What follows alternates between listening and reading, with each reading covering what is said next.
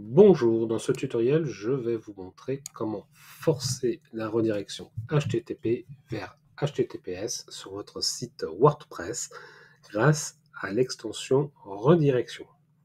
Alors, petit aparté avant de rentrer dans le vif du sujet. Euh, donc là, je vais vous montrer une méthode avec une extension. Certains vous diront qu'il n'y a pas besoin d'extension pour faire une redirection. Ils ont parfaitement raison. Je ne, je ne les contredirai pas. Euh, donc sachez que euh, vous n'êtes pas obligé d'installer une extension pour euh, faire ce genre de choses. Par contre, pourquoi je vous montre comment faire avec cette extension? Tout simplement parce que cette extension va vous servir à d'autres choses. Donc c'est pas une extension qu'on installe exprès pour faire cette redirection, ça c'est la première chose.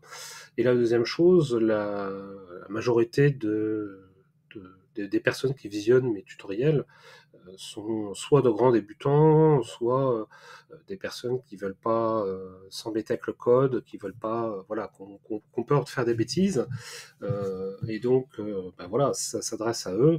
Donc, ben, les personnes qui sont qui, veulent utiliser le moins d'extensions possible, le moins de plugins possible, et qui voudraient donc faire une redirection via le htaccess, hein, le fichier htaccess, donc en saisissant du code dans le fichier htaccess, euh, voilà, ce tutoriel n'est pas fait pour vous.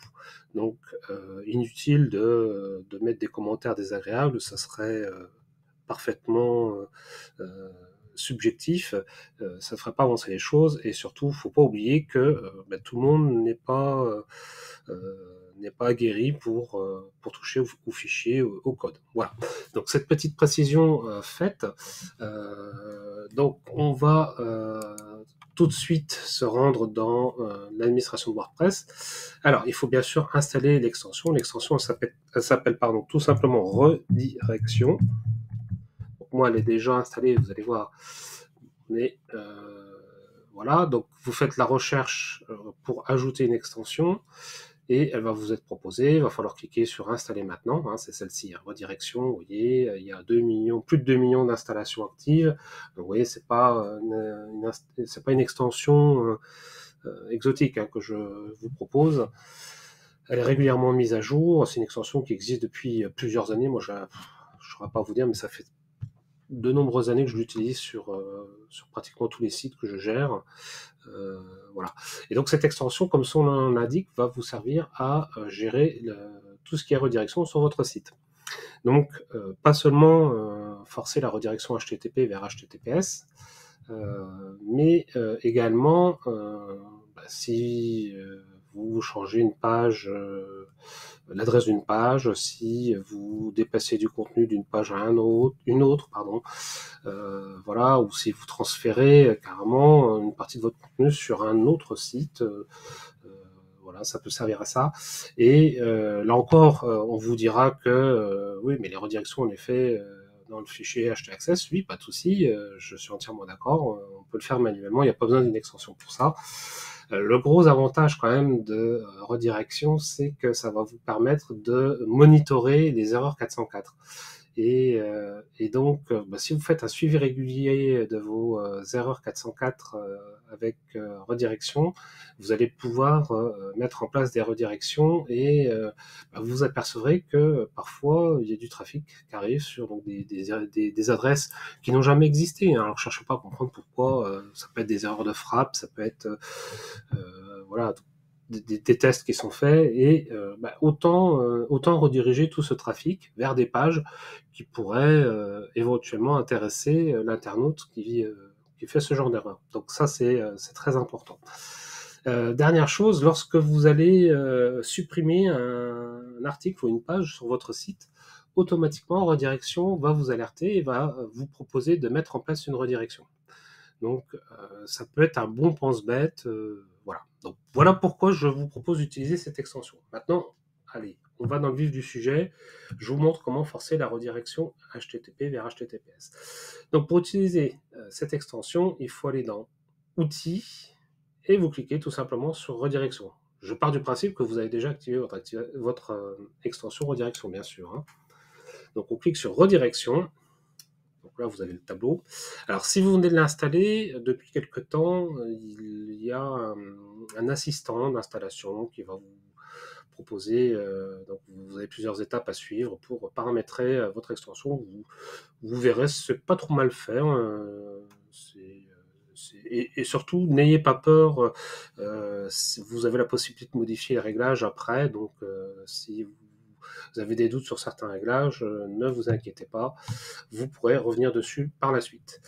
Donc je pars du principe que vous avez déjà fait les réglages, tout ça.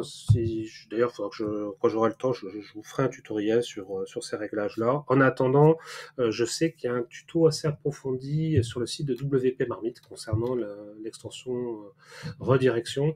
Donc bah, si vous voulez en savoir plus, si vous voulez connaître à fond les détails des réglages de l'extension, n'hésitez pas à faire une recherche sur WP Marmite et l'extension redirection, vous trouverez votre bonheur.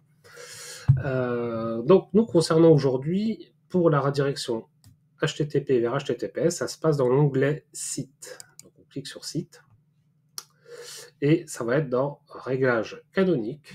Vous voyez ici, vous avez une case à cocher, forcer une redirection HTTP vers HTTPS vous verrez qu'il vous affiche un message euh, d'avertissement. Assurez-vous que votre HTTPS fonctionne avant de forcer une redirection. Ben oui, c'est le, le B à bord. Hein. On ne va pas rediriger euh, vers HTTPS si ça ne fonctionne pas bien. Donc euh, ça, vous devriez le faire avant même d'avoir installé l'extension. Donc là, vous voyez, moi j'ai bien mon petit cadenas. de toute façon, c'est un site neuf que je suis en train de construire. Donc par, par défaut, il est en HTTPS voilà, je, crée tout de suite les sites en HTTPS, comme ça je suis sûr de ne pas être embêté. Par contre, pourquoi je mets euh, en place la redirection HTTP vers HTTPS alors que le site n'a jamais existé en version HTTP Tout simplement parce que euh, bah, ça peut arriver qu'il y ait des personnes qui fassent des liens euh, sans le S ou qui, ou qui saisissent euh, l'adresse dans leur navigateur euh, avec le HTTP de petits points SHH en oubliant le S. Et euh, donc il faut, il faut les rediriger vers la version HTTPS, la version sécurisée, d'autant qu'elle existe. Voilà. voilà pourquoi il faut le faire. Donc vous cochez la case, vous cliquez sur mettre à jour et votre redirection HTTP vers HTTPS est en place. Voilà, c'est pas plus dur que ça, ça dure pas plus longtemps. Avant de vous quitter, comme d'habitude, je vous invite à cliquer sur le pouce en l'air qui se trouve juste en dessous de la vidéo que vous êtes en train de visionner. Ça va lui permettre de se positionner, euh, de, mieux se positionner, pardon, dans les résultats de recherche euh, de YouTube. Euh, c'est un moyen simple, efficace et pas cher de me remercier si vous appréciez mes tutoriels vidéo, vous pouvez également les partager sur les réseaux sociaux en cliquant sur partager, en choisissant le ou les réseaux sociaux sur lesquels partager, ou en copiant l'URL pour partager sur un réseau qui ne serait pas ici ou sur un site internet par exemple, pourquoi pas. Et enfin, je vous invite à regarder dans les descriptions de mes vidéos parce que parfois vous avez des informations euh, utiles et il n'est pas rare que je reçoive des commentaires où on me pose des questions alors qu'en fait, la réponse, elle se situe ici. Donc, n'hésitez pas à cliquer sur le plus pour dérouler bien toute la description.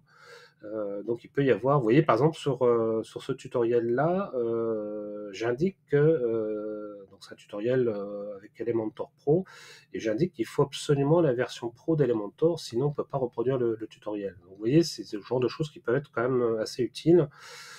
Et je termine par une partie que j'aborde à chaque, euh, à chaque tutoriel, voilà, ce sont les ressources que je vous propose euh, concernant la création de sites internet avec WordPress, donc que ce soit des, des thèmes, des extensions ou des hébergements euh, que je vous recommande et pour lesquels je suis susceptible de toucher une commission si vous passez par mes liens affiliés, sans que cela vous coûte quoi que ce soit. C'est-à-dire que bah, je, je prends mon exemple euh, traditionnel d'O2 Switch, qui est un hébergeur euh, français, 100% français, 100% propriétaire des, infrastructures, euh, et surtout un hébergeur de qualité avec un SAV très réactif, très courtois, à votre service et, et, compétent.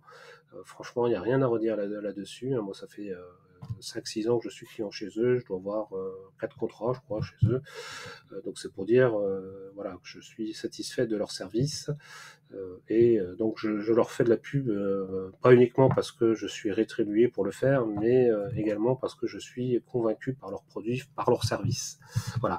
Donc si vous cliquez sur ce lien-là et que vous réalisez un achat d'un hébergement chez O2 Switch, vous allez payer 72 euros TTC hors code remise, puisque vous voyez qu'ici il y a un code remise, alors je ne sais pas s'il existe, enfin s'il est toujours valable, à vérifier, je ne vous promets rien.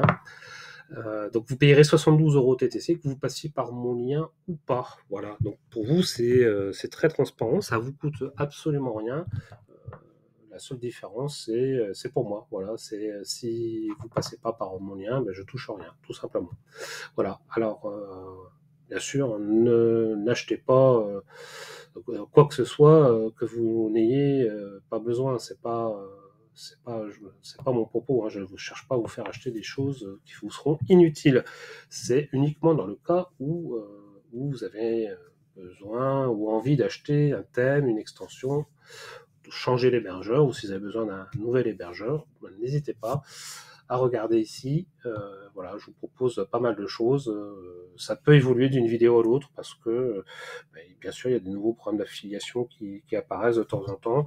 Et puis, et puis ben, surtout, il y, a, il y a des programmes d'affiliation que je avec lesquels je cesse de travailler parce que ben, les produits dans la durée ne, tendance à se dégrader, ça peut arriver. voilà, donc donc c'est pour ça que d'une vidéo à l'autre, il peut y avoir des différences au niveau des liens.